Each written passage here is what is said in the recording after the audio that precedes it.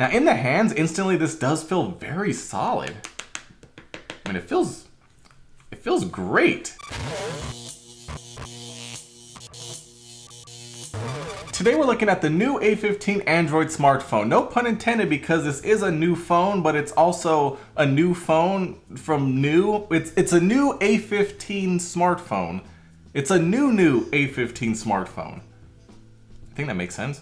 Now, in my experience, NUU makes some great budget devices. This one right here features a 6.5 inch HD plus display at up to 90 hertz refresh rate, which is gonna be great for gamings, and it's very nice to see a high refresh rate in a budget smartphone. This smartphone does come in two different colorways, whether you want purple or white, you're definitely gonna stand out from the crowd. If you can guess what color I got, bonus points for y'all.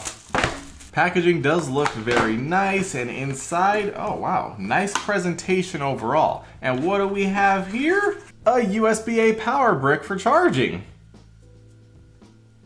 Also inside the box, we do have a SIM ejection tool, a USB-A to USB-C charging cable, and the device itself right here, which, I mean, this thing, this thing looks clean. And honestly, this is the purple and it's, I mean, I guess it looks like the picture, but when I was thinking purple, I thought it was gonna be like a bright, vibrant purple, like this color right here in the background. This right here is a, a deep, dark purple. It's almost black in person. So if you're looking for a black smartphone that's pretty stealthy, the purple one's the way to go. Now I've always been a fan of these films they have on the screen here. As you can see, the 6.5 inch 720 by 1600 HD plus display with a 90 hertz refresh rate, a 2.2 gigahertz octa-core processor, 4G LTE connectivity, so this doesn't support 5G, but did you expect it to? Probably not. 4 gigabytes of RAM, 120 gigabytes of onboard storage, and it also is expandable with a micro SD card. We have a 50 megapixel main shooter on the back along with a VGA shooter for bokeh portrait effects along with an LED flash right next to it. And this is all powered by a 4,180 milliamp hour battery. So you're gonna have a lot of battery life with this, given the screen resolution, battery size, processing power, you're gonna be good to go. Now in the hands, instantly this does feel very solid. I mean, it feels, it feels great. No flex whatsoever. I mean, it just feels very nice, very lightweight considering that big battery size and also the big screen size and the actual monstrous size of this device. Quick little comparison here, holding it next to the iPhone 15 Pro Max. You can see it is a little bit taller. Thickness is actually about the same and it's about the same as far as width goes as well. I mean, they both look pretty similar, honestly. Nice matte finish on both of them, looking great. I'm honestly surprised with how lightweight this thing is. Now, taking a look at the body of the device, looks great. Nice color all around. Over on the left side, we do have the micro SD and SIM card slot. Over on the bottom, we do have a speaker grill, a 3.5 millimeter headphone jack. Very nice to see here, along with the microphone and the USB-C charging port. Over on the other side, we do have the power button along with the volume rocker and nothing up here on the top. I mean, very simple design, feels amazing in the hands. I mean, this is a squared off design like the old generation of the iPhone, but it doesn't feel nearly as sharp in the hands. Very nice. So now let's get this thing powered on and see how the screen looks. Six and a half inches, let's peel off this film. And there we go. We also do have a screen protector pre-installed, so that's nice to see to keep the screen protected. As you can see up here at the top, actually you can't really see, we actually have some very nice black levels here. I mean, I wasn't expecting this. I know we don't have an OLED display here, but it looks very nice. Nice animation here. I mean, that black really blends with the bezels, which is actually surprising. Now, as you can see that we are booted up, the screen, I mean, it looks very nice for only being a 720p display.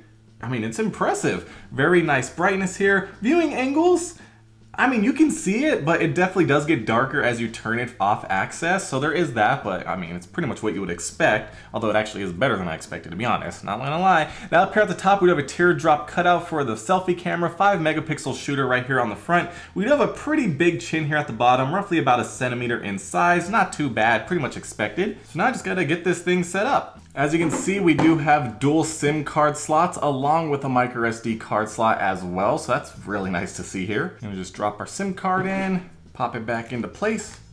And as you can see, we instantly connected to the LTE network. Now, while we're on the subject of cellular networks, this phone is only gonna work on T-Mobile and their MVNOs. It's not gonna work on Verizon or AT&T or any company that uses their towers. Now, I will say the haptic engine is what I expected. It's pretty strong, makes a vibrating sound, isn't the greatest, but it's what you'd expect. I've said it once, I'll say it again, with haptics like this, I would prefer to turn them off because they just don't feel right, and it's kind of on the annoying side, at least for me personally, but to each their own. All right, so now here we go. Set up the fingerprint, which actually didn't even cross my mind. I don't actually know where the fingerprint sensor is on here. Is it on the power button? I mean, it just looks like a regular button. Is it under display? Let's find out. Touch the sensor, it's on the back of the phone. Is it? Is it? I don't... I don't see it. Okay, is there a fingerprint sensor on here somewhere? Okay, so it is the power button. I don't know why I said it's on the back of the phone because there's nothing there, but it actually is on the power button. So, let's do this. I mean, that's that's honestly really impressive. I can't even tell it's there. It just looks like a regular button.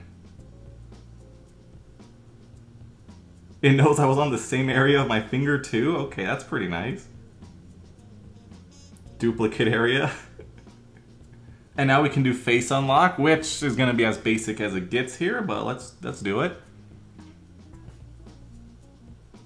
Okay, I, I'm gonna just give up on Face ID, it's not working, but to be fair, I probably wouldn't really use it anyways because we do have the convenience of the fingerprint reader right here on the power button, so every time you press the power button, it'll automatically unlock. And then also because we are just using the camera, it's not as secure as it would be if it had infrared and other face scanning technologies built in there, like an iPhone, for example. So we'll just skip that and just be on our merry way. Speaker actually sounded really good with that, so it sounds like we have a voicemail or something. So anyways, we're on the home screen here, pretty basic as far as everything goes. Swipe over here to the left side and we can see the little Google feed here, which I always like to pick up on the latest news. Love that. We can swipe up to go to all of our apps, see if we have any bloatware here. Looks like we have all the Google apps, a ton of Google apps. A ton of Google apps. Like every Google app you could imagine is on here. An FM radio, Nice, because we do have that 3.5 millimeter headphone jack. We have voice recorders, find device. You know, no bloatware here. We do have NUU help, but obviously that's gonna help you out with the phone. Probably have a user manual in there or something, so no bloatware. Very, very cool. Let's go to our settings here and see what version of Android we are currently running. As you can see, we are currently on T-Mobile's network without an issue, and we're running Android 13 right out of the box. Okay, what is DuraSpeed here? That sounds kind of cool. DuraSpeed helps boost the foreground app by restricting background apps and notifications will be postponed and not received. Okay, so that's actually pretty cool. So you can actually speed up other apps by disabling other apps in the background. So if you're gaming, it'll use all the processing power it can to play that game. Let's see what the dialer looks like. Standard Google dialer, I think. to be honest, I'm not sure. But that was kind of weird. It actually took some time to boot up. So if I force close that, Okay, and open it back up. It actually takes roughly five seconds almost to open up the dialer, so not the fastest, but let's open up the camera and see what we got here. Alright, so we actually have different modes here. Over here we have night mode to take pictures in the dark. We do have video mode. Let's see, what settings do we have here? We have video quality up to full HD 1080p. Microphone, you can have that on and off. Okay, just rotated. Camera mute, so you can mute the shutter sound, I would think. Grid lines, volume key feature if you want it to act as a shutter button, anti-flicker, and then custom options as well. So we have the function layout, more modes. Okay, let's see what we got here. A lot of modes here. We have night mode, video, photo, ultra HD, portrait, beauty, filter, GIF, film, pro mode, slow motion, time lapse, intelligent scanning. Okay, so they have pretty much everything you would need right here in the stock camera. Take a quick selfie, and the picture looks looks fine. Actually, not bad. Some pretty good details here. All right, so not not bad. Especially with all this lighting over here in the background, it did a very good job. Now, I will say things aren't the smoothest ever, but they do work. Now, with that being said, a camera test isn't that great when we're just sitting at a table with all these lights on, so we're gonna send this phone out to other Rodrick and have him put it to the test real quick. Hi there. Welcome outside and thank you for having me here. We're out here on a warm, sunshiny day. We're gonna see how good this camera is for videos as well as photos while the sun's still out. The sun's right in my face right now. So we have a ton of harsh lighting on me right now, but hopefully it's doing a good job. Well, let's go take some pictures of some nature, shall we?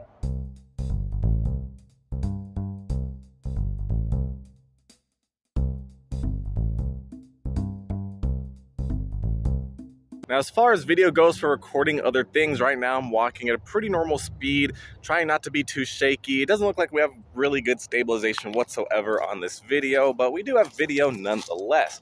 So this is what it looks like when we look at some trees, look at the sky, maybe pan around, take a look at the sun. All right. You know, not too bad, not nothing amazing by any means, but it definitely does record video. Got this nice rock here some shadows. Let's try to get real close on these flowers here. Can we get it to focus? It's like we're having trouble focusing on this, but let's pull it on out. And really, this is what we're getting here. Let's actually run up over here real quick. Take a look at the car. This is what it looks like when you look at a car on video in some pretty harsh sunlight.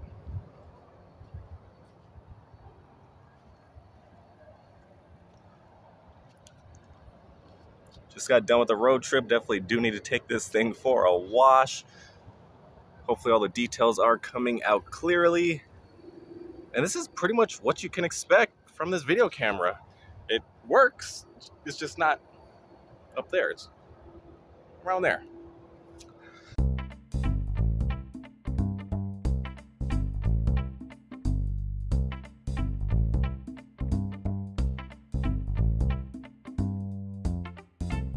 All right, so now we're switched over to the front-facing camera, taking a video, and what I will say after taking a few shots with the rear-facing camera is that the shutter speed is a bit on the slower side. The camera app does get a bit laggy, and sometimes I'm trying to open up the gallery and it doesn't work. I have to press it a few times and then it finally opens up. So there's a couple of issues there, and it's not the most satisfying experience, but you know, for what you're getting, it's pretty much exactly as you would expect. And here we are at night doing a video sample. Right now the flash is actually on automatically because of the low light situation we're in. This is what it looks like in pretty unideal conditions if you happen to be vlogging at night.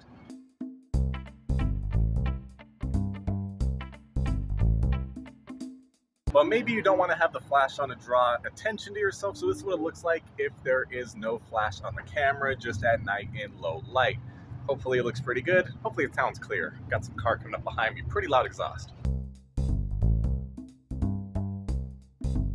And of course right here is what it'll look like if you're trying to record a black car in low light conditions. Pretty much as you would really expect. I mean, it's usable. Not the best in the world. We can actually zoom in a little bit on that stop sign, pan around, focus on the lights. We focus on the lights? It's a little bit blown out. This is what it looks like in a dark parking lot. And then of course we also have the front facing video camera at night in low light, which is what a lot of people will be using when they're trying to send videos back and forth with their friends. So this is what it's gonna look like. Not too bad actually. And we are back. Thanks, Other Rodrick, for those amazing shots you got out there on the field. So we're back in here. Let's actually test out the... Oh, that was actually really fast. Let's do it again. Test out the fingerprint sensor. I didn't even have time to finish my sentence. So, touch it and unlocks. You can feel a vibration every time. Okay, very nice. Fingerprint, very responsive, very accurate, works every time. Now with that being said, now that we're back in here, let's actually take a look at some videos to test out what the speakers sound like on this device. Do we have stereo speakers? I'm doubting it, but we'll find out for sure.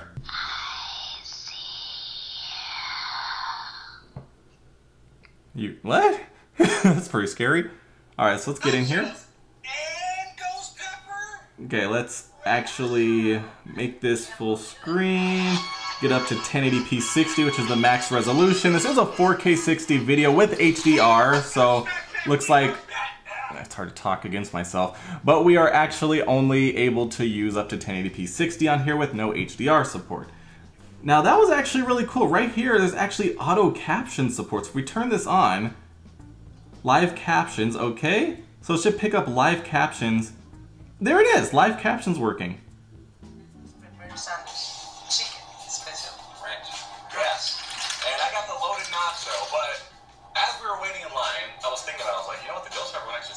Alright, so it's actually pretty accurate. Not too bad, and you can use it with anything you're watching, which is a very nice feature. Love that. Now, as far as the speaker goes, let's fast forward a little bit.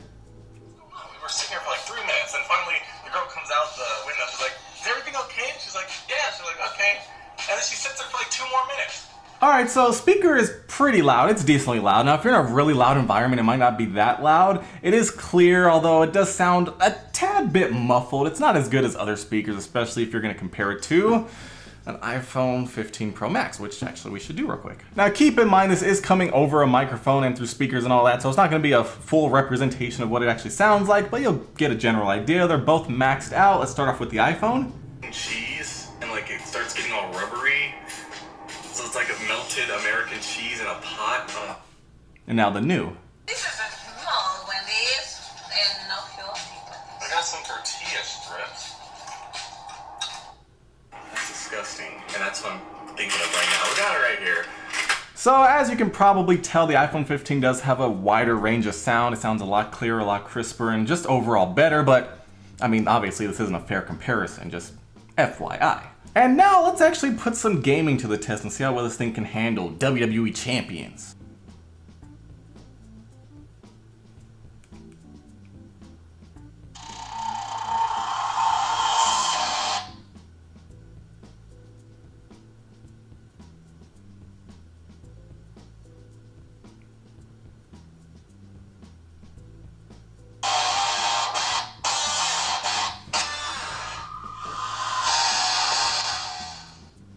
Alright, so we are in the game. It is loading up. Let's see how quick this is.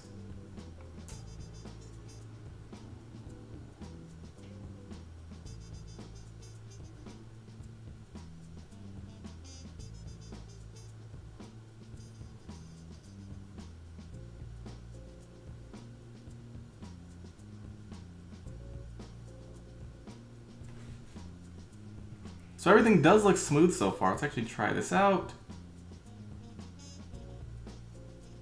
Okay.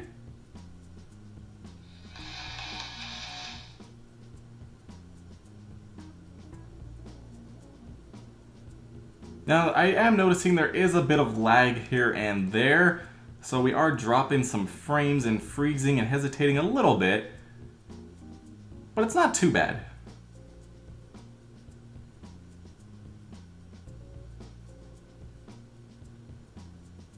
As you can see right here, we just froze a bit. And see, it is stuttering a bit, but you know, it's it's it's all right, especially for what you're using. So all in all, great value device right here if you're looking for an Android smartphone with a massive screen, an in-power button fingerprint reader, a pretty good camera overall. Now, of course, the video quality isn't amazing. The audio's not amazing, but it's it's good enough. It'll get the job done. Just don't try to capture some UFOs or something because that's probably gonna be impossible. But as for still images, they actually look very acceptable with that 50 megapixel shooter. I'm actually impressed with it. Now remember, we are looking at a 720p HD plus display, but honestly, it looks very impressive for what it is. First of all, the black levels are actually pretty black. We have some bright, vibrant colors, and we also do have a very crisp image. Now, if you look close, of course, you can see the pixels, but when you're just using it regularly, it looks fine. No complaints. On top of that, I really like the way this feels in the hand. It's very lightweight, like surprisingly lightweight with that big, massive 4,000 plus milliamp hour battery. The design does look great, feels great in the hands. Like remember, it looks sharp, but it's not sharp. It feels good. Overall, a very nice phone here without breaking the bank.